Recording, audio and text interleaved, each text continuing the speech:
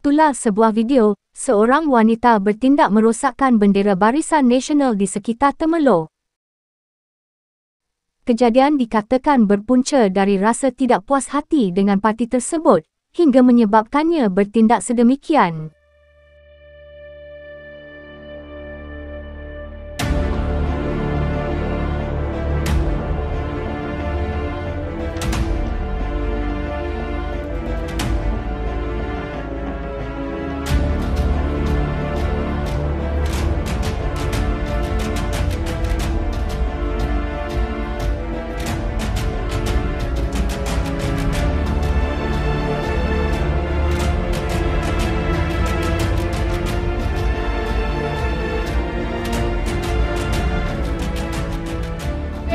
Dah record ni bodoh.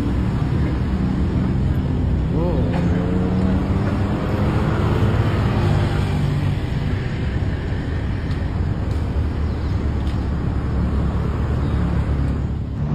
You ingat saya kelulusan se- cabut you je.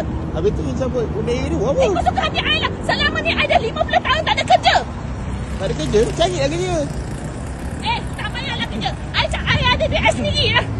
Ha, dah tu yang cabut bendera ni buat apa? Eh, I tak nak bercakap dengan you.